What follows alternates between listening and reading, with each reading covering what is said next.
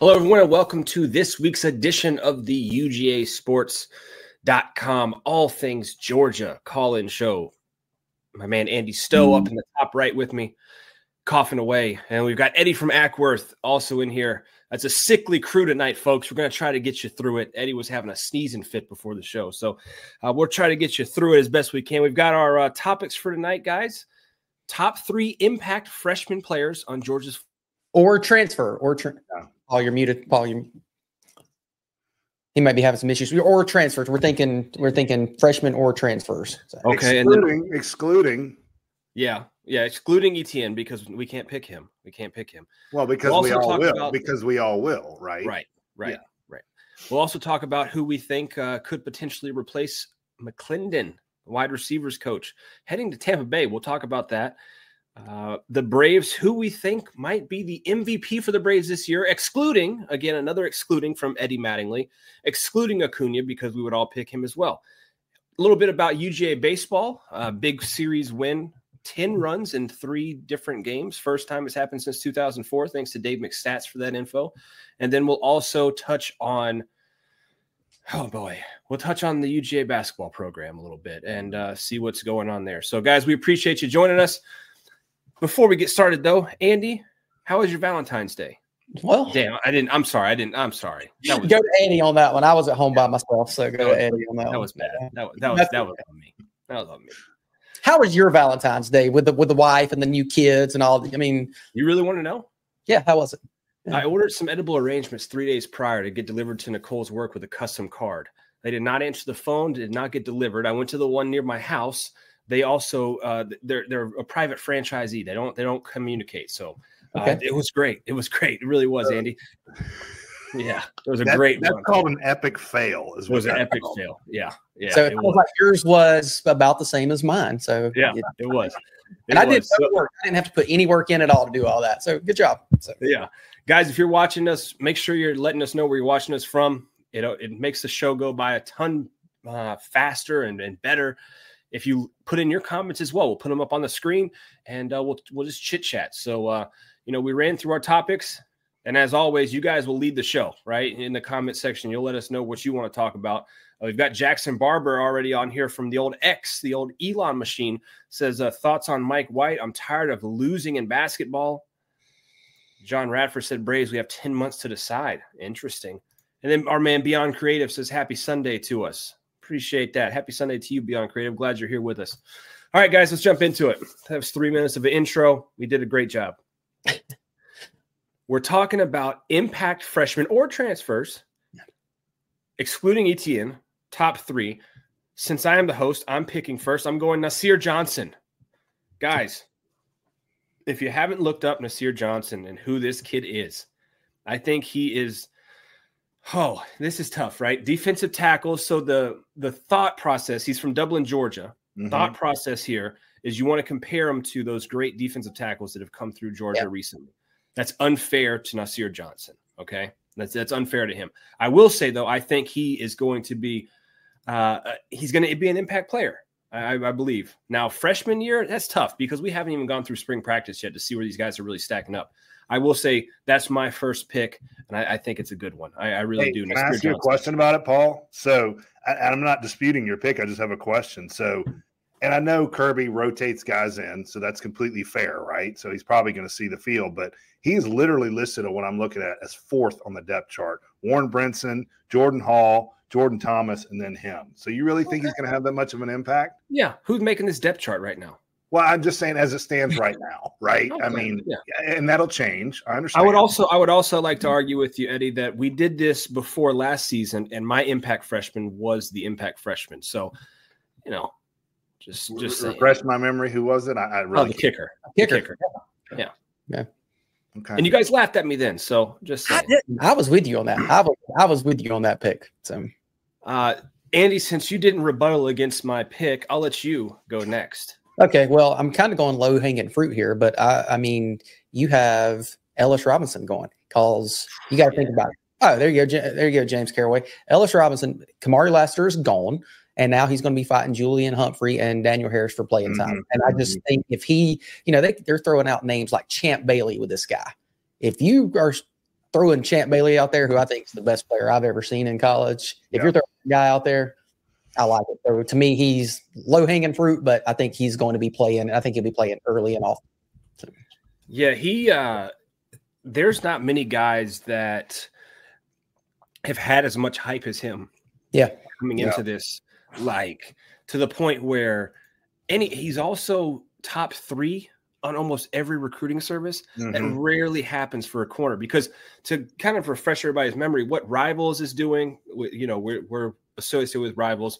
You've also got the other ones as well. What they're trying to do with their five stars, guys, is they're trying to project, and it's kind of weird, right? But they try to project first round picks in the NFL draft. Yeah. So that's what they're doing. They're if they're saying this kid is is the second overall player, then they are predicting by way of doing that saying that he should be the second round, second pick overall in in his draft. So that's where they're thinking Ellis Robinson. I mean, top three is is crazy for a, a defensive back, especially Yeah. a corner. Uh, you just don't see it very often. And from everything I've heard about the kid, uh, hard worker, keeps his head down, like no trouble. out of it. Everything you want, right? Right. Yeah. Right. Yeah. So, I mean, great pick, Andy. I left that one right. I, I left it. it's hanging fruit. It definitely. Right. I, I, went. I went a little deeper. I dove deeper, but you took Yeah. it. You know, somebody was going to take them, right? Yeah. we can take the same guys as well. You know, we're not out here Yeah, yeah. trying to pick nine, but that's a great pick. Great pick. I think sure. he's, he's and not not to mention that, but I mean the highlights we're seeing, he's making George Pickens like catches oh, Yeah. on the defensive side of the football. I mean, just incredible athlete. So I, I love that pick, Andy. It's great. Yeah. What you got, old EFA. I'm gonna start with the low hanging fruit, as Andy likes to call it as well. Now, I'm gonna go with KJ Bolden. I think this kid is a massive Yeah. gift for Georgia. Um, I think we got the better of the guys from Buford. I know Jake Pope's coming in. I understand, but uh, KJ Bolden may be the best athlete in the country coming to Georgia next year, and he's going to get on the field. Uh, he's going to make impact plays. You And think they make it a little bit. I mean, he's listed now, obviously behind Malaki Starks, right? But they're going to find a way for to get this kid on the field somehow. Here's a here's a question for you guys, and and this is all this is such a hypothetical, right? Because we just, I mean, we don't know yet. This is just for fun right now. Uh, we're in the we're in the dog days of the winter, and, and we're we're you know we're we're pulling along as best we can. The fun thing is though is to kind of project these guys. Who do you think sees the field first, Ellis Robinson or KJ Bolden? Ellis Robinson. Yeah, I, Yeah. I kind of agree with that. I think Ellis Robinson. I think Ellis Robinson may start game one. That's cr- that you know that's a crazy take, but it's not that crazy. It's not Like, that it's- it's crazy. not crazy. And walk us walk us through that thought process, Andy. You can't Well, just say that. he's coming in. He's going up against guys that have are not starters yet. He's not like he's coming in to go up against uh, Kamari Lassiter. Kamari Lassiter is gone. He's coming into a spot that's wide open. Not to mention, you have a new DBs coach, so you don't have somebody that's there that's got this preconceived notion of who started last year and who's moving up. He's coming Very into an empty slate, and if that guy, I've seen his clips like y'all were talking about. If he is as good as they say he is, and his clips look, he may be playing day one. Not to mention going into the spring, he's already done this once. Who knows if Julian Humphrey's even here when we start in the fall? You may, you may say, "Whoa, this guy's pretty good. I'm out of here for real this time." What for the for, what would that be the Third time, that'd be at least the third. I third. mean, for real, like he, Yeah. he's like gone, you know. Yeah. So I think that I think Andy's right on that. Absolutely. But with that Uh, being said, uh, with, when you're talking about KJ Bolden, he's going up against Dan Jackson and Jacor, um, Ja'Cory Thomas, and those guys. Nothing against them, they're not Javon Bullard. So who knows? Right. I mean, he may be right there at it too. Uh, so we've had some guys in the chat, and I want to put this up now that it's my turn again. You guys can't steal them. Uh, we've got a lot of Justin Williams in the chat. Yeah. Okay, we've got Justin Williams, Justin Williams. Uh, we've also got don't sleep on DeMello, DeMello Oh, Jones. Mm, Next DeMello Jones. Hey, Fred says, "Good seeing you guys. We appreciate it, Fred." Chris Taylor also liked your pick. What's up, CT? Uh, Justin Williams again. We see him. DeMello Jones again. So there's some names out here we we haven't touched on yet. Uh, man, as much as I re- oh boy, okay, this is this is tough, guys. Because as much as I really really like Justin Williams, I just don't see where, where does he get on the field. That's the problem. I think he's too Yeah. far behind. Yeah. Yeah, Small, Raylen Wilson, and Tony Bowles listed now ahead of him. I mean, I'm I'm just Troy, Throwing it Troy out Wilson. there. Yeah. But Troy Bowles. I'm sorry. You're good. Yeah, I just I don't think he's I don't I don't think he's going to beat those guys out. I think they're just way ahead of him. We got C.J. Allen, Jalon Walker, Yeah, Mhm, mhm. Mile, Raylen Wilson. I mean, there's four guys right Yeah. there. There. Yeah, I mean, and, and, and, Tro- and Troy Bowles looked good in his limited playing time that we saw. right. So that's the only concern I have with Justin Williams. If if there was like free roam for a freshman to start and every position was open, I think that Justin Williams would have a good shot at it. That's Right. the only stop I have with him. So with that being said, I'm not going with him. I'm not going to Melo Jones. You guys can go with both of those. I mean, where's my list at? I think I lost my list, boys. This, I'm in trouble. Well done. Well prepared. I've lost my As list. Yeah, that's great. Hey, Andy, go ahead with your next one. I've lost my list. This is Okay. good. Well, my next one was going to be KJ Bolden, but I'm going to skip over him, and my next guy's going to be London Humphreys because Mm, he is. You went so okay. So you went you went transfer side. I went transfer because six foot two, 200 pounds, runs a four, four, one forty, and he broke Jalen Ramsey's for um, 200 meter record. Uh, I think he is going to be that guy that can just run down the field. He's not going to be the new Ladd. I know everybody wants to compare those guys. He's not. white. He's And that's white. the only that's the only thing that's kind of the same, really, because uh, Ladd's Yeah. more of a 50 guy. And um, but yeah, no, I think London Humphreys is going to come in. and He's going to help stretch that field. You know, maybe we didn't have that guy last year that could stretch it. So I like London Humphreys. I'm glad you left this for me because I was going to go with them third, but I'll, I'll take him second because I'm afraid where Eddie's going here. Colby Young, Yeah. Damn it. All right. 6'5, 215, the last kid. Are you picking him? Is that your pick? Yeah. Paul? Oh, yeah. Yeah. Okay. The the the last kid that Georgia got from Miami that had 10 touchdowns in his career, and that was around 6'5, 215, Lawrence Cager. Lawrence Cager is great. balled in Athens. I think this kid, who's the last, uh, remind me, please enlighten me. Last six five kid for Georgia that, you know, just balled out. Brock Bowers.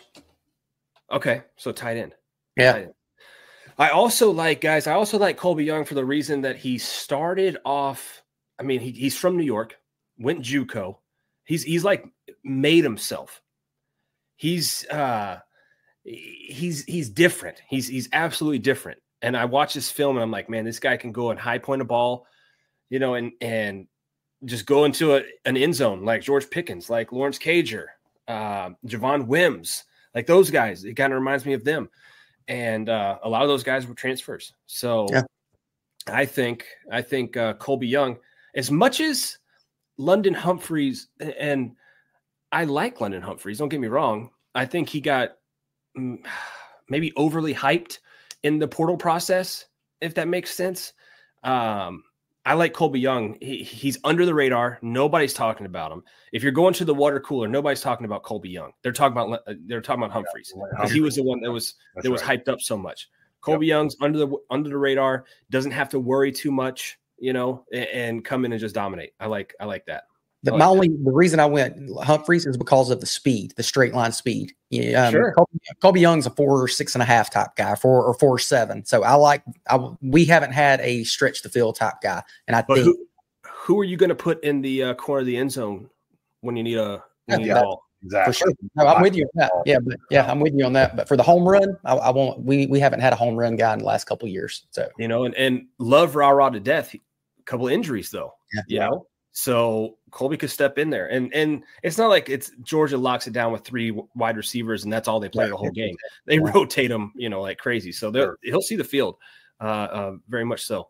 Eddie, what you got? Well, I mean, you took mine. I, mine was Colby Young as well, but Oh, I'll, good pick. I'll good take it. pick. I'll take it one step further. That's your Marcus Rosemy-Jacksaint replacement. That's Ooh, what that is.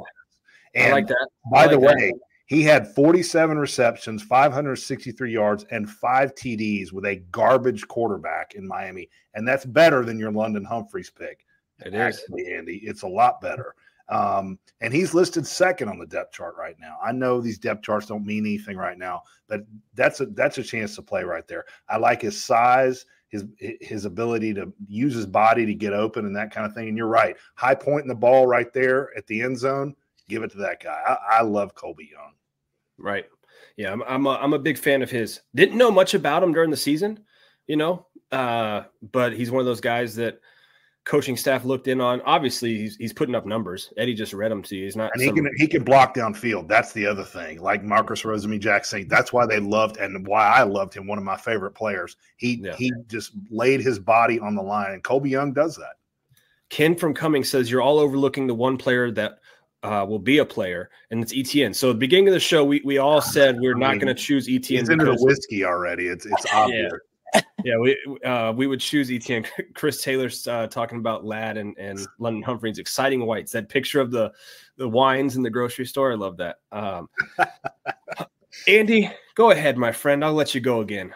Well, I had KJ Bolden. I mean, KJ. I mean, again, low hanging fruit. KJ yeah. Bolden, the guy. He's like I said, he he could be starting day one. We don't know. He may be. Man, so you really you really went chalk as hell on your picks, didn't I you? did. We I, when Eddie said wow. when Eddie said impact freshmen or transfers, I was like, okay, who's got potential to start this year? And mm. to me, there's only well, two that could start. I mean, I, I, get it. I mean, those yeah. were two on my radar too, but I was trying to go a little deeper, much like Paul. But mm-hmm. it's it's hard not to overlook those guys. Those guys are going to be the impact players, right? Yeah, the, I mean, they are the two freshmen that could be starting day one. Yeah. Are there any, or is there any other freshmen that could start day one? I mean, I'm looking at the list and I don't see one. I mean, unless Probably. you have unless you have injuries, you know, maybe a halfback yeah. ETN goes yeah. down, you know, but outside of if everyone's healthy, they're the only two that can start. I think, I think, I think, gentlemen, I'm about to steal Eddie's third pick too. I think because I, I, looked at the way he looked down at his paper when you said running back. Nate Frazier.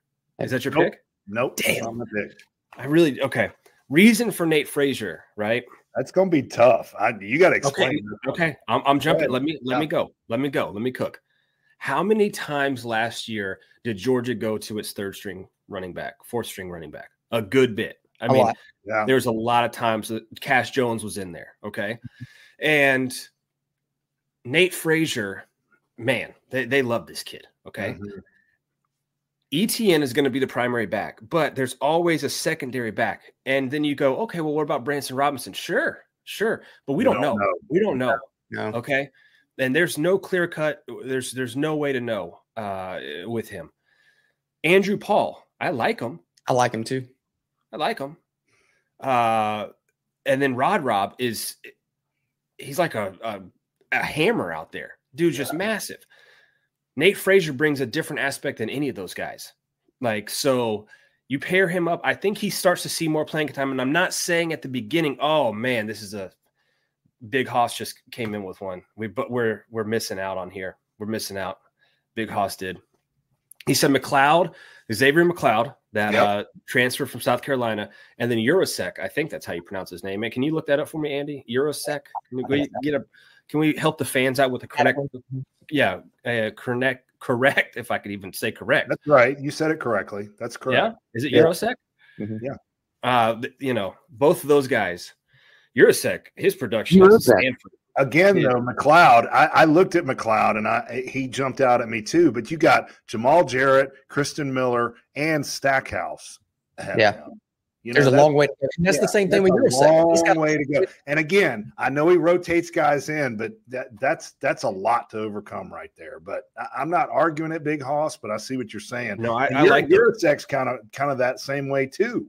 You know, he, he, got, Yurosek. When we were talking about this, I was like, he's the guy. But then I was like, well, God, he's got a long way to go to get to yeah. that. I don't think he does. I don't think he does. You I think he's think top so? two. I think he's top two think, tight end. You think he's you ahead think of Jaden Liddell? Yeah. Really? Oh yeah. Yeah. Yeah. Okay. You think he's ahead of Pearce Spurlin? Yeah. Wow. Ooh. Yeah. Yeah. It's gonna be interesting. Okay. Yeah. Well, they they're brought him in for a reason. sit. They, they brought yeah. him in for a reason. You know. Yeah, they're not bringing him in to sit. He's yeah. he's going to be out there right. playing. He's yeah. going to be out there playing. That's a damn good pick. We mm-hmm. we looked over we we yeah. glossed over him. Uh damn. You still have a chance to make up for that, Eddie. You do have the last pick here. Uh, you could pick Yurosek, and really, I mean, you probably could save your ass a good bit because he's going to see the field a good bit. I'm what am I in last place? I mean, no, I'm just no, I'm just giving you, I'm just giving you insider info here. Oh, like, okay, we all Thanks, skipped Paul. over it. You could look really good by picking him, but I think you're going somewhere else. I'm not going him. Sorry Eh, but it has been mentioned. I will say I'm going DeMello Jones, and the reason the the reason I'm going, Paul, will you just relax and let me explain this, okay? Yeah. Did you did you the same watch? thing with my Nate Frazier picks. I don't want to hear it. I, you, you, know, you, no, I have some questions. I didn't make a face and, and almost vomit like you just did. All right, fair, fair. Fair. What you got? Did you watch the state championship with Swainsboro? Baller. Baller. Absolutely dominated the game in a losing effort, but dominated the game. And here's where I think he makes an impact punt returns. I think they're going to put him back there and he's going to make an immediate impact because we need somebody like that. I know Evans did that great punt return against Alabama. That's all we saw.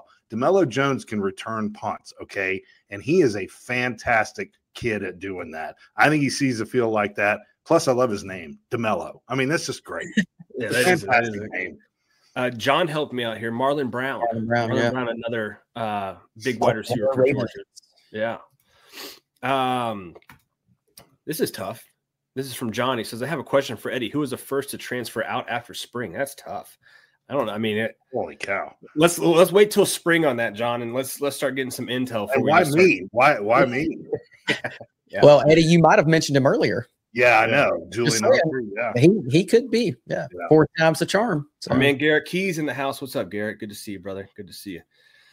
I think all those are solid picks. I think Yurosek is probably one that we all overlook, though, and we're going to look back on it and, and say he probably should have been whew, maybe one first or second overall pick. I really do. I I asked you guys on the text, and you kind of shot back at me, Paul, about why they brought him in. Do you, do you think they brought him in because they think Delp is not the guy? Or, No, I don't. I don't. that I don't think. I don't think that's the case. But once you get past Delp, you got once you Luckie, past Pearce Spurlin, you know, Lawson. you got some younger guys. Luckie's been injured. We don't really know what we have in him, right? Right. So, you've, you've got you've got why- a younger you've got a younger tight end room. So kind of bringing a veteran presence. Uh, and he's you know obviously has to be some sort of smart coming from Stanford. You Yeah. know, so bringing a, a an elder, if you will, into the into the into the mix. Georgia lost a lot of tight ends, guys. You Yeah. know, in the past couple of years, they had a, a lot a lot of transfers. They lost Darnell Washington. They lost lost Brock Bowers. They've been lower on that number than they've wanted to be. So this isn't this isn't anything crazy that they brought him in. They they wanted to get to that. I think it's what is it six, five, six. They wanted to get up uh, one That's scholarship yeah six. on those tight ends. So uh, you know that's that's that's what you do. Uh, let's see. What was the next topic, guys? What were we going on? Well, we're talking about the Georgia football team. Why don't we talk about that coach that just left and who we're going Right. to Thank you, Andy. Thank you, Andy. Yeah, that came out of uh, a left field, if you will. Yeah. Bryan McClendon going to the Tampa Bay Buccaneers. Same position, right, Andy? Yeah, he, he's the passing game coordinator and he's the wide receivers coach. Which What does that even mean? Position. What is that? I think I don't know. We can Google it, but I, I think it's basically setting up the. That's got to like like that's got to just be a title. And I don't know, It is. Coach. and I might need to ask Coach Don in this. That has to be a title that just gets you more money, Eddie. Like passing game coordinator Passing game coordinator. Yeah. and running game coordinator, and then you have the offensive coordinator. Because what are you sit, all sitting in a, a room together, and the offensive coordinator sitting there, and he goes, "All right, uh, BMAC, can you can you give me some passing plays, please?" Let me oh, coordinate these passing plays for you. Yeah, yeah, you know, eh, like, and then oh, hey, Mister Run Game Coordinator, can you give me the run games as well, the the, the run plays as well? Oh, okay, I'll I'll merge both of those together and I'll make my. No, I think it's just a, I- you know, I could be totally wrong on that, but I think Well, it's just. I also think this is part of what we're seeing in college football, and this is going to happen more and more and more. The NFL gives you breaks. You have time off. You have time to spend with your family. You're not on the road recruiting. You're not dealing with a transfer portal. You're not dealing with NIL. All this shit on top of everything they've already been doing. They've already been grinding, right? And I just think this is the beginning of the end for some of these coaches that they're going to look to the NFL. And even if it's a lat, I would say some of them, this is a lateral move. Some of them take a move underneath what they're doing now in college to get to the NFL and have that time to just decompress that they don't get in college football. It's it's become ridiculous. It really my has. first my first thought was, I wonder if BMAC called up his old buddy Thomas Brown. yeah. was like, man, how do you like coaching in the NFL? yeah. And Thomas Yeah. was like, man, it's a little different. Yeah. It's a little different up here. Great You know, point. Yeah. um, because the BMAC for me, like, I feel like he's he's close to that next stepping. Like, he could be that next OC we talk about next year in the NFL, yeah. right? Thomas Brown got it. You know, he's he's an OC Mhm. now. hmm Um, so I, I think that's the trajectory I see for for Bryan McClendon is is very much the same as Thomas Brown, and no no uh, knock on him, right? Better family life. He's got a family. He's got kids. Like if if that's what it is, that's what it is. You know, and and you're not going to some terrible town. You're going to Tampa. Great Right. weather. You know, Sure. you're- uh, you've got you've got Mike Evans down there. So if you You're bo- gonna boost his Baker. He's gonna have Baker, right? Right. Yeah. You boost Evans' production a little bit. Uh, next thing you know, hey, the OCs are starting to come around. And then after you're an OC for a couple years, hey, young up and coming head coach candidate. Like, you know, I, I could see that, that path for for BMAC. I really could. And you know, congrats to him for doing it. The big question though is there's now a spot open on Georgia's coaching staff. They've got some in-house options. They've got some former dogs. They've everybody has their opinion on the wide receivers coach. Now, the one name that has been passed around more than probably anybody. Yeah. How long is this name? I don't even have to say the name, guys. How long has this name been passed around as potentially every time there's a wide receivers coach opening? Past 10 years? Since It Richt was was, when Richt- coach, it was- absolutely yes, yes. It was when Richt was still Yeah. present Yeah. in Georgia. hmm We're talking about Hines Ward. Okay. And correct me if I'm wrong. What has what has Hines Ward done, Andy, in his coaching career? Um, he got fired from the XFL, right? Didn't- Okay. All right. So But he's worked for the Steelers. I mean, he's Okay. done some stuff with the Steelers. It's not like he hasn't coached. He has, and he's currently that was the a- knock on him, right? That was the knock. There was no Yeah. coaching experience. I think that's what with Kirby. Yeah, he's that was got it now. I mean, he's got some coaching experience in the NFL, and and currently he's a free agent. He's sitting out there. The other name is Terrence Edwards. Okay, But he just um, he just That's got the other the head coaching job. and he just that's exactly right. He just got the the position at what Mount Vernon, isn't that right? So yeah. head coaching job. Now that's all high school experience that Terrence Edwards has got. I mean, I, how do you argue against Hines Ward coming in and just any coaching role at the University of Georgia? I, I just, I just think that's huge. He's one of my all-time favorite Georgia Bulldogs. Absolutely. I love that guy. When when we beat Florida in '97, you know that Hines Ward package. You know he was quarterback and halfback and wide receiver. He did it all. So James Right. uh, says, "Do high school kids even know who Hines Ward is?" I think so. I would think Why so. does yeah. that matter? Do high school kids know who Mike Bobo is? I mean, no. I mean, they don't. I mean, I think he's talking about like his playing career. I think, I think, yeah. You look up Hines Ward, you'll know who he is. Um, there's a here's a question, and here's another name that's been thrown around. Chris Taylor says, anyone like or strongly dislike Joe Cox? Why or why not? I'm, Any opinion on that? I mean, I think if he got hired, it would be fine. I don't think it would be terrible. I, again, I think it's ultimately going to be for Georgia to go out and get the next level wide receivers. I think they're going to have to start paying more at that position. But I mean, I would be fine with Joe Cox. I don't strongly dislike or like him though. I mean, I'm like, uh, whatever. So, So if I'm if I'm correct, Joe Cox just took a job with Alabama, with Alabama.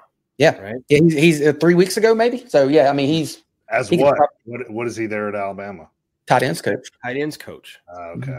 But he was with Bobo uh twice. Uh Colorado State, and um, he's another guy, you know, same age as uh, I think he's the same age as Thomas Brown and, and McClin- McClendon might be a little older. Um, that's kind of making his way up the rankings. Yeah. Joe Cox, nobody nobody liked him when he was a quarterback at Georgia, but I've seen he's he's able to recruit and it looks like he's able to coach. Obviously, if you're able to get a job at, at Alabama. We've got John waiting in the background. Let's get John in here real quick. Big John, what's up, man? Hey, what's up, John? what's up? Hey, I put it in the chat. Jimmy Smith, former Cedar Grove High School head coach at Southern Arkansas.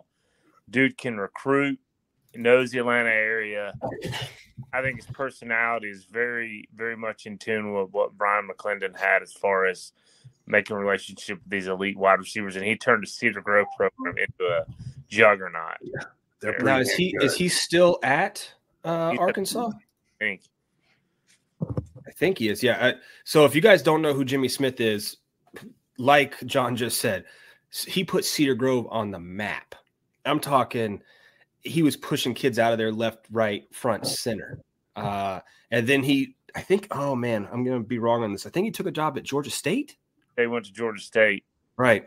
And now, and then Pittman obviously knew him from the from the recruiting ranks, and uh, snagged him to go over with him to uh, to Arkansas. Hell of a coach. So that Georgia has their picks here. Um, Let me throw a name out that I read earlier that Okay. all on the forums. James Coley. Yeah, I Yeah. know. I, I saw that too. I don't, rather have him than Joe. I don't understand that one. Yeah, I, I kind of agree with you. I, I'd rather have Joe Cox. I, You I, just, want I, I just got PTSD Why? with Why? James Coley. but he's Uh, not going to be calling your plays He, he would. He's an excellent recruiter. He's he's by far. The out of out of every name we've just named here, Andy, by He's the best far the best recruiter of any of those we just named. I mean, it's not out of the realm. I, I wouldn't be surprised. I wouldn't be shocked with that. And would you be upset? I don't. I mean, I'm like, oh, okay, I'd be fine with uh, it. Paul, let me ask you a question because you're closer to the program than we are. Kirby Smart, he plans for everything. He's got a plan already for this, right? I mean, he he he's already thought in his mind if Bryan McClendon leaves, here's what I'm doing, right? Don't you think? Sure, or is this sure, yeah. just caught him I mean, off guard and he's got to find somebody? No, no, it's no. I'm sure Kirby probably for for every coach Yeah, is like if he were to leave, this is who I would this is call. the guy. Yeah, And then that that probably changes periodically, you know, as as he gets new information on these guys. So I'm sure, yeah, he's got a short list for for every position coach, every offensive coordinator, defensive, every coordinator. He's got a short list. Yeah, so this this isn't this didn't catch him off guard. No, um, it's going to be interesting to see who they bring in because for wide receiver coach, and correct me if I'm wrong here, Andy, you're the stats guy. Most of the time, and John, you can correct me if I'm wrong too. Most of the time, that wide receivers coach is a is a recruiter first. Uh, Yeah. He can he can coach obviously, but like his main attraction is is his ability to recruit.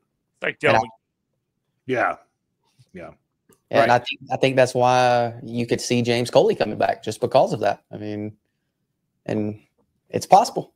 Yeah, because he can. I mean, I I think it's going to be ultimately about how good of a recruiter they are. So Hey, Yeah. can I ask a question if you don't mind while I'm on here. Yeah, Cool. man.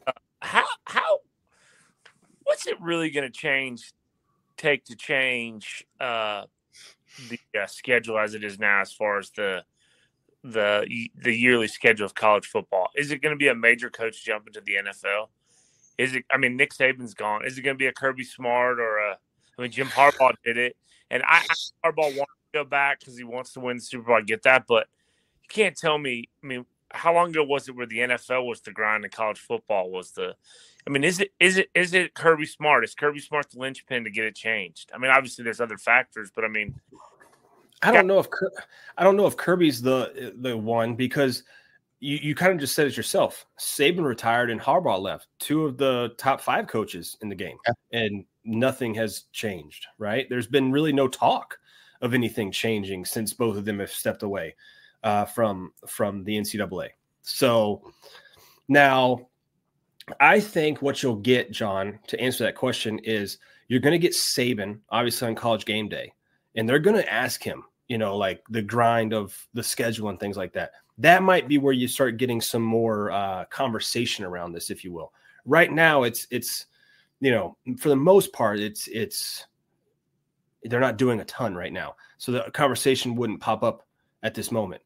But you get into the season, and you you have you know, like I said, Saban on game day, Pat McAfee or or Kirk Herbstreit, somebody's going to ask him a question about the grind of the season schedule, and that's maybe where that conversation takes place. But I don't, I don't know how you change it right now. You, maybe you limit the transfer portals and and the amount of times that it's open and closed and things of that nature. But I, I don't know if if there's a direct correlation to like if Kirby Kirby was to leave because we just saw Saban and Harbaugh both jump and nothing changed. From yeah, that. it's not going to trigger anything. Yeah, just it's just crazy. And we're talking about, and again, who knows who's gonna. We're talking about people leaving. Like Julian Humphrey could potentially potentially be at his third, what third school yeah. by the fall. So Julian Humphrey's been at Uh, Georgia. Julie, yeah, he's been at Georgia. Yeah. Who am I talking about? Um, the name's mistaking me, and maybe I'm maybe I'm I'm.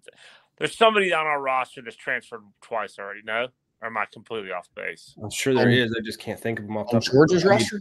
Yeah, He's Um, already transferred twice. So he And- transferred to Georgia or from two. I, I'm completely off base then. If what I was trying to think or it's escaped me, but I think that my question to Eddie was who's leaving. It's going to be Pearce. What I, I mean, it's, In the tight end room, Pearce Spurlin. yeah, we're not going three deep on a tight end unless there's an injury, God forbid. But Yeah. Yeah, like you know, but it's I think it's just a little too early to to speculate who's going. to I mean, he it could have a, a hell of a spring, you know. Yeah. Oh, Um, yeah. So, like that's where just to you know be fair to the kids. I'm I'm not projecting anybody until we get to the spring and start hearing because they could just jump off the page. You know, we could we could see him again, and, and Pearce Spurlin's you know grown six inches. He's seven two and he's 280 pounds. You know, and like, whoa, there he is. He's not going anywhere. Yeah. Um, But I, I think I think John, to answer your question a little bit, I think changes are coming after next year. We're gonna we're gonna see this 12 game playoff for the first time next year, right?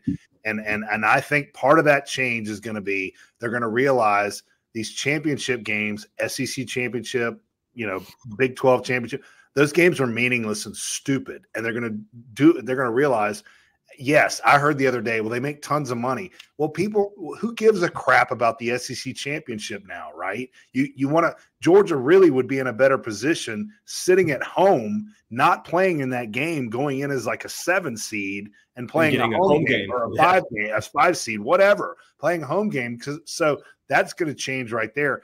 So, Until but so you until- think the you think the championship games are going away? I do absolutely, I, hundred I percent. think Oh, I think they're that- going away. They're Okay. they're going away, Andy. I really firmly believe that. I don't the think mon- so. They keep talking about the money. The money's going to decrease because people are not going to go to these games anymore because they're meaningless.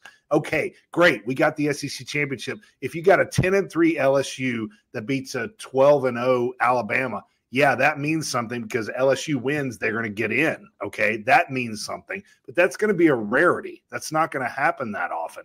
And secondly, John, the other part of your question, I think un- until football breaks away from the NCAA, they they develop their own league, they have a commissioner and all that stuff. That's when it changes. And until then, it's going to be a mess. But we got to have some rules in place. We got to have somebody who says this is how we got to do things, right? And we're not there yet.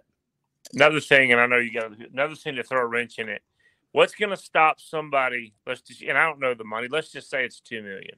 What's going to stop somebody from like Caleb Downs, who's a surefire top five pick after this year, to say, you know what, I got a bag of money from Ohio State. I'm going to take off this next eight months. And I'm just going to train and not risk injury, and I'm not going to play. Nothing.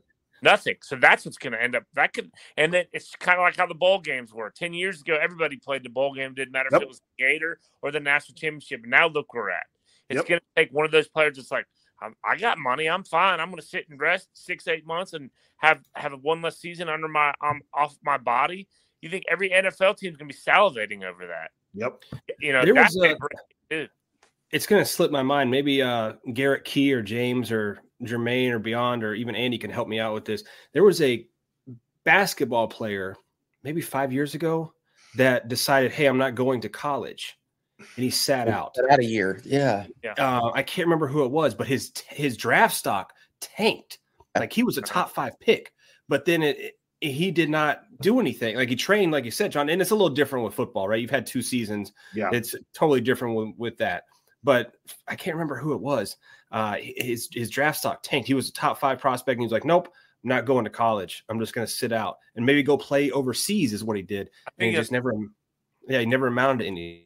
I I wonder who that was. Um, but John, I appreciate you calling in as always, my friend. Take care of uh, Kieran John. for us, brother. All right, man. See you. Hey, man.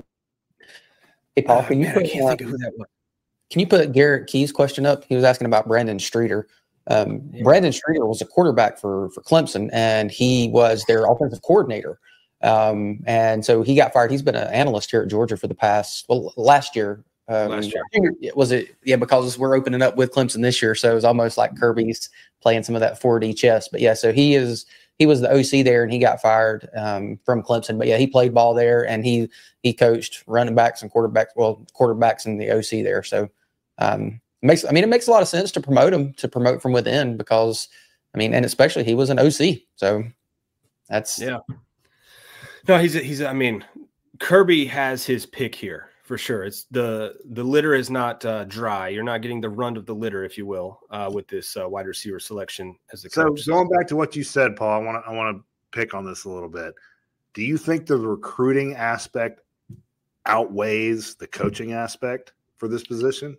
At certain positions, yeah, I no, do. at this one. At wide receiver, yeah, I do. Yeah. You do? Yeah. So Yeah. that's more important than actually coaching the wide receivers and the passing coordinating bullshit. You make it. You make it sound like. Uh, you make it sound like he's only going to recruit and not coach at all. No, no, no, that's not what I mean. I'm just saying the importance. that It's more important to be a big recruiter as opposed to the wide receiver coach. Absolutely, Yes, absolutely, 100%. one hundred percent. Yeah, Okay. because because if you're able to go recruit, uh, you know, Evan Stewart or uh, just name the name of five Marvin star. Harrison, Marvin Harrison Jr. Yeah. That guy Yeah, would you're able to go, be the best you're able to player on the get field. those guys, right? If I Those, coached him, he would be the best wide receiver on the field. You Right. telling me Hines Ward can't go sit in that Marvin Harrison's room and and and say I'm not to telling him, you you can't. I'm not telling you you can't. No, I'm sure. I'm sure he probably could, but we haven't seen it. You know, we haven't. Yeah, we haven't. It hasn't fair. been. Yeah. We haven't Yeah. seen that. So yeah, he could be the best recruiter of all time, but we haven't seen it. Yeah. Um, but yeah, so like if you're if you're going through positions, um, wide receiver for sure. I, I so like if you're because they're still going to coach, right? So it's not like we're saying this guy's just bringing him to campus and then they're not going to coach him. They can still coach ball.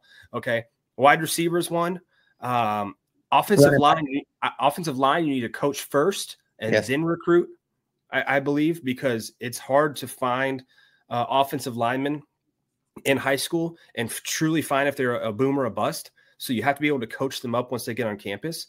Um, quarterback, it's a little bit of both. Uh, I think you could you could go either way with that. So that's Running really back- interesting. What you're saying is it differs by position, right? Absolutely. Yeah, Yeah. it, it flip flops. I never really thought about that. That's Yeah. interesting. Todd Gurley, again, I could have been coaching Todd Gurley. He was going to be the best player in college football. Yeah. I mean, No, so, Andy, you could not have coached Todd Gurley. So only thing say, let him play. That guy, you can handing the ball. I mean, that's not That's it. Hey, I, if I got him on campus, that was all I needed to do. You know, No, so that's, like there's that's, that's really interesting, though, Paul. I've never really thought about that. By position by position, it's recruiting over the coaching, and then it reverses when. Yeah, that's that's that's kind of interesting. Yeah. No, I, I think I think definitely there's certain positions you want a, a, a lead recruiter and a coaching as a secondary, and some you want coaching as a lead and recruiting as a secondary. So I think it, I think it just all depends. We've got old James Caraway here, guys. We'll bring him in. What's up, James, in the garage? What's up, Right. guys? No baby. Babyless. Yeah. No, wife's got the baby. All right. How you doing, James? I'm good. Uh, I wanted to touch on kind of what was just said. I was listening to, you know, Jim Donnan. He's always with Roddy, and he said, you know, for your coaches, you want a OC and QB coach who can coach a DC, and then really you want recruiters as the main thing. And because the head coach is really going to, you know, be coaching everybody up, but you know, he's a big time coach, and he said, you know, that's kind of the general thinking and O line coach as well. But you know, you're looking for recruiters more than, you know, they're all can coach, but Right. job is recruiting. Yeah, Yeah. I, I think, um, and it, and it kind of differs, right? Like uh, for Georgia, they've taken this approach on the offensive line. Sam Pittman was a recruiter. Right. Yeah. That man brought in studs, you know, and and, and now they've kind of taken this approach of where don't get me wrong, Stacy Searles has brought in some guys too. Monroe Freeling's nothing to laugh at. He's he's a Oh, good yeah. he's a good player. Um, Yeah. but I think he's more of a coach than than he is a recruiter. You know, so it just it just varies. And I think you look at that your staff by year by year basis and say, all right, how many guys do we know can go out there and and help recruit this position, but we know he's a bang up coach. You know, that's that's where I was getting at. With all that being said, James, who would you like to see come in as a wide receiver slash passing coordinator guy? Really, I don't care. Um, whoever Kirby brings in is going to Oh, be come on, that's that's that's ridiculous. Give me give, give us so so so tomorrow Kirby announces Eddie from Acworth is the new wide receivers coach. You're like, man, I've got all the I've got all the faith. I've got all the faith in old I Kirby. didn't Man. know What a Eddie had people like that. Um, Hell of a recruiter. The guy's the guy's an ace of a recruiter. Damn Hey, right. He knows everyone around the state of Georgia. He talks to everyone, so he, Right, right. has the inside. So well, yeah, we're just gonna speaking sit. Georgia, we're gonna, I think Terrence Edwards. Um, he coaches Yeah. all the big time uh, receivers. The thing is, we're never going to get the top five star guy because we don't pay for that. We pay for big boys. Um, so I mean, you can bring Jerry Rice in there. He's unless Jerry Rice is going to bring that money with him to the recruits, it's not going to happen. So Georgia works within the margins. You know, develop a Ladd McConkey. You get your Pickens here and there. Um, your AD Mitchell. So you know, target those 150 to 300 top recruits and the receivers, and and that's where they work. So if you're, if, but here's the thing though, James, if you're targeting those guys, you gotta you, you gotta be able to you gotta be able to coach a little. Where you're going? Yeah, that's a really good point, Paul. You gotta be able to coach. Terrence coaches all these guys before they get to college. He does. He does. Yeah. Because the further you get down, the, the more the prospect board, the more you got to develop. You know, yeah. so very good point. Uh, yeah, that's true. Yeah, you know, so BMAC got a bad rap. And It's like, oh, he's not getting these five stars. It's like, well, he's getting a lot of guys into the NFL, and Georgia's not going to get a ton of first rounders and the NFL, thousand yard receivers, but he's getting a lot of guys who, when they came in, you would have never said, oh, that guy's going to be in the NFL. I think the stigma around Georgia and the wide receivers could potentially change this upcoming year, and that could be something we could talk about a little further in depth, maybe on another show. Is you're going to have Carson Beck probably go for, man, I don't know, 4,000, yeah, 4,500, 45. Yeah. Yeah. I mean, he could, he could potentially hit 45. Um, the, I think that could, that could change some things, but it has been for a long time. Georgia's been running back you. I mean, it, you talk to any of these high school kids, they're like, what's Georgia known for? Well, they're running backs, you know, Todd Gurley, the Nick Chubb, Sony Michel. they, they just rattle them off. You know, James Cook now that he's balling in the league. Um, it's going to take it's going to take a, a, little bit for Georgia to switch it up. Well, let me ask you this, Paul. So let's say that we go out. Uh, let's say it's Terrence Edwards or who, whoever the the new wide receivers coach is, and if that coach tells Kirby, I do not want to rotate eight guys. I want to rotate. I want four guys in there starting, and then when they get tired, they can get a breather, but they come right back. Is that Kirby's call to say rotate all of them, or is that the wide receiver coach's call? I think that the wide receivers coach probably uh, he's going to be asked about that in the in the interview, and whatever answer he has, uh, better align with Kirby's, right? Yeah. So probably continue to rotate him would be my guess, because uh, yeah, it's, it's, Kirby's call at the end of the day. You know, um, who, who's getting in and, and getting out. So um, it'll be interesting, though. I think it'll be wrapped up by the time we have our next show. Who the wide receivers coach will be, and we'll we'll be able to deep dive into him and and what he's been able to do. And who knows? I mean, there's some good names, guys. We, we talked about James Coley, Joe Cox, uh, Terrence Edwards, Hines Ward, Brandon Streeter. Five pretty solid names uh, that you could add to your coaching staff. So. I, I, don't, I don't want to. You're not talked about. So. Yeah, James makes a good point. I mean, I kind of crapped on it, but it's Kirby Smart. I mean, we got to trust the guy, right? I mean, he's going to make the right choice. He always does. It seems like, right, James? Yeah, and it's not like we're replacing a DC or OC. Yeah, so. that's true. Yeah, yeah. It's not, it's not like a critical part of the team, right? Yeah, and it, but look, BMAC, and you'll see this uh, over at UGASports.com. They just had the Under Armour uh, combine over in Carrollton, and Roddy, Jed, Trent, ton of guys were over there. There's a ton of new recruiting info on the vault. You got to go check it out. Um, and they talked about BMAC to some of the top wide receiver uh, recruits, and they're like, "Yeah, that's that's big time." You know, him leaving. So whoever it is has to come in and and you know get get on the horn, if you will, and, and start contacting these kids early. I'm sure that you know Kirby will help, but you got to be able to get back out there and do the same thing BMAC was doing, which he, he BMAC has always had a solid rep throughout yeah. the yeah. throughout everything. So you've got to bring another guy that's as solid as him too. So James, James, before you go, who's your one impact player that's oh. different from everybody that we were named? Well, I was, I did pretty much men- mention everybody that you guys were, okay. um, but I'm gonna go Sacovie. I just think maybe. Oh, Sacovie White, huh? I've heard you know they've been liking him early, but it's so early. But yeah. he, he, can do a little bit stuff that some of the other guys can't do. Um, you know, London, I don't even know if he's better than Arian Smith still. Arian had a bad year. Um, Ooh. I really like Colby, but, you know, there's so many. So I'm trying to think of a guy who can maybe do a little bit different stuff that we haven't yeah. seen. Yeah. I like that. I'm very curious. This will be fun too to kind of revisit this. Maybe I'll have Andy yeah. write our write our picks down from well, this show, and uh, we'll revisit this. Uh, I don't know, sometime in the summer, and see how right or wrong we were on our, our picks. So well, Paul will be right, right? I mean, we know that he's the guy, right? Maybe. I mean, just ask him. Yeah, just ask me. James, as always, man, thank you so much for joining us. Take thank care you, James. Yeah. And last thing before I go, Austin Riley MVP, 40 doubles, 40 home runs. Oh, I love it.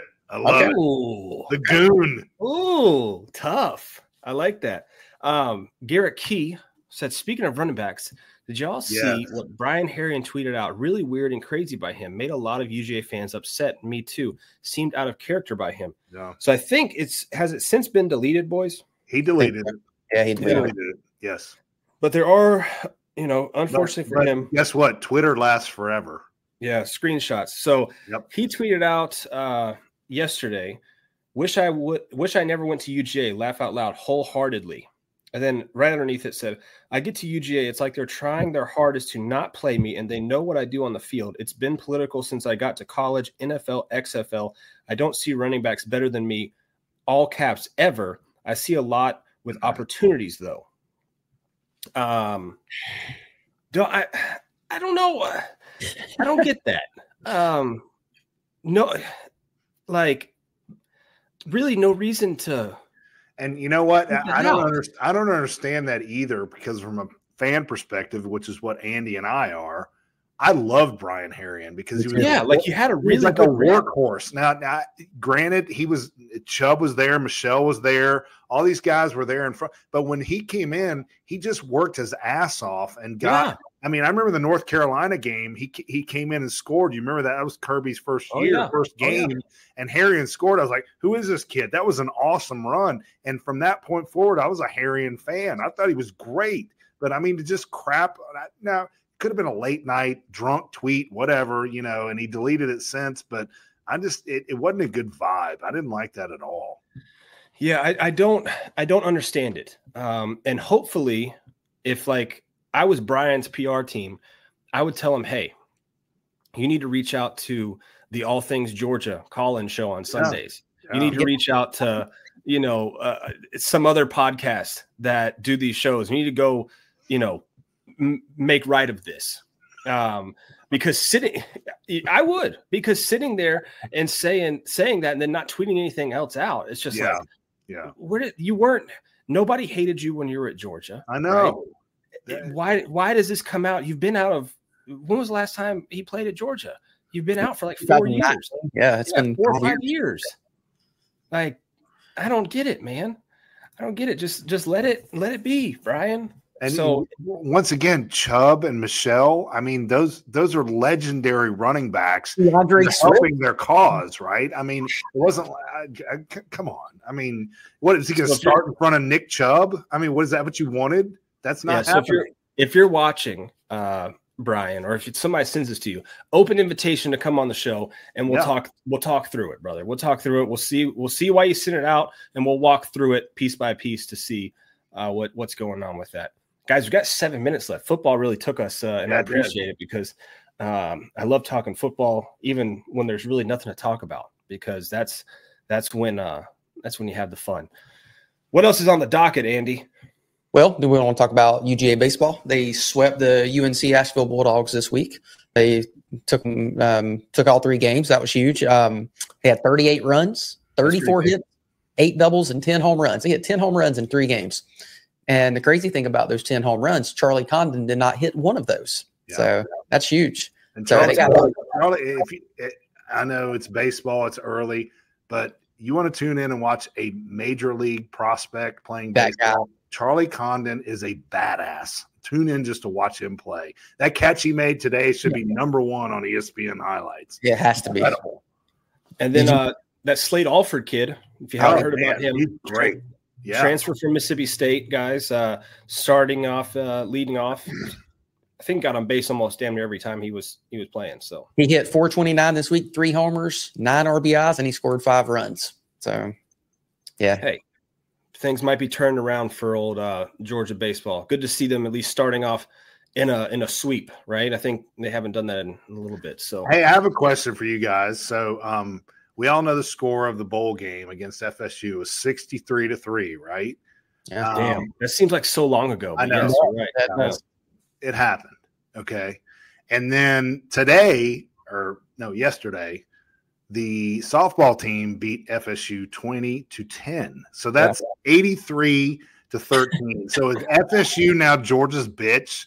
That's Hey, my well, question to you guys. You also you also would have to add on uh, Georgia basketball beating FSU. That's right. that Earlier as in the year. That's right. Yeah. That's right. That, that gets it even that. higher up. FSU Yeah. is Georgia's bitch, right? There you go, straight from Eddie from Acworth's mouth to uh, to your ears, folks. There, there you go. UGA basketball. Speaking of guys, in this last five minutes of the show, um, man, they've taken a turn. They've taken a turn, and I don't know how to fix this. Andy, how do you fix this? Well, I, I, will say this: last year when they were in these games, they were getting completely destroyed. Yeah. At Okay. least they are close in these games now. So I'm looking at it as as like, okay, we have got to this next level, and now maybe next year we can move to another level because I don't know. It's it's it's sad watching them. I mean, it just it's it's disheartening, but they're in all the games and they weren't last year. So I'm I'm trying to take a positive. They're in the games now when they weren't, and hey, I think it's one step at a time. Maybe next year they can get a big guy that can be dominant down low, and then that will help everything. Garrett Key says "Leg- legit question for UGA B ball. Do they win a game the rest of the year? They have Vandy coming up. I'm Mhm. looking at the schedule. They lost to gotta go- Arkansas on the road. They did. They've got to go to Vandy. Then they've got uh, Auburn at home Saturday. That's tough. LSU on the road. A and M's coming to town again on Saturday. Uh, the, the Saturday after that. Then you've got Ole Miss and then Auburn again. Man, I, they need to right the ship against against Vandy. They've got to. Um, a- and you're throwing your hands up, Eddie. But let's let's not act like let's not act like um, yeah, right here. Perfect, James. Thank you. James says, remember when we were talking about NCAA tourney a couple shows Yeah. ago? Good times. Dude. Yeah, you're, you're throwing your hands up. Yeah, There's yeah. win them all, Paul, right there. He's got them all.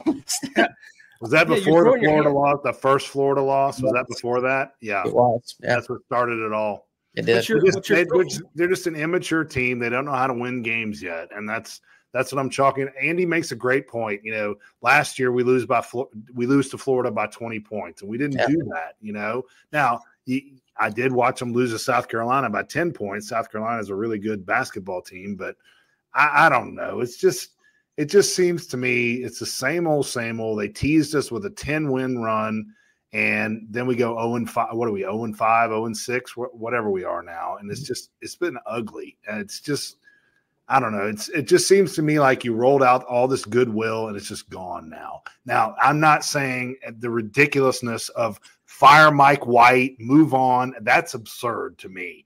We, we got to give it another couple years. nobody's nobody's on that Oh, train. no, I've seen it. I've seen that, Paul. Really? Time to move on from Mike White. You know, oh yeah, yeah, because everybody's so impatient at this point. You know, it's like this is what we've been handed every year. It seems like, and it's time to move on. But I disagree with that 100. percent Mike White needs to stay. He needs to he, he, at least three more years to see what we do with this guy. Three more years. Yes. So five. What? You want five years for him? I said three. Yes, uh, three more from now. Absolutely.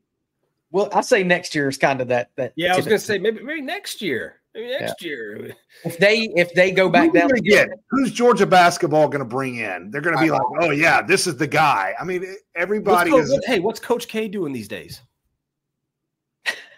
If we get Coach K in Athens, like ninety five. I'd still be awesome though. Could you imagine that Coach K That's not- I mean, in his wheelchair on the sideline? And, and oh, dude, that'd be See, what's he doing these days? You know, TV. hey, why don't they? I know a guy who coached Dwyane Wade. Mm, let's get him back. Yeah, I know a guy who coached Dwyane Wade. He's out Just there. relax. Mike I got- fine. I mean, come on. Just saying. There's there's coaches out there. Okay, so don't tempt me with a good time, Eddie. Okay. Don't Hey. tempt me with a good time. before we go, can can I mention one thing right quick?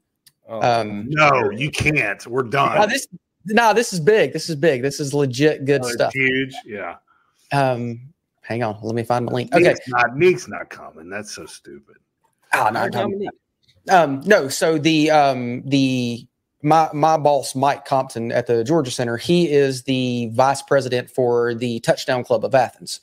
Okay. And in conjunction with the Classic City Collective, they put on the gala each year. So the gala will be April the 22nd, 2020. Well, hang on, that's April 22nd. Um, God, they got the dates wrong on their own website. It's not April 22nd. It's coming up in April, and it's going to be um, all the money that they collect. They, it goes to the Classic City Collective, and so you can buy a table of eight chairs for ten thousand dollars. So Eddie, we're getting in your range, but all of the um, all of this this money goes to the Classic City Collective, and so if you buy a table, you get a football player at your table. So um, it's Eddie disappeared because talking about ten thousand dollars. But the, the, gala is is very important. It will help with NIL, and that will be happening in April. What else um, do I, Andy? What else do I get with that? Besides you get a, a, football player to sit at your table, and you get a meal.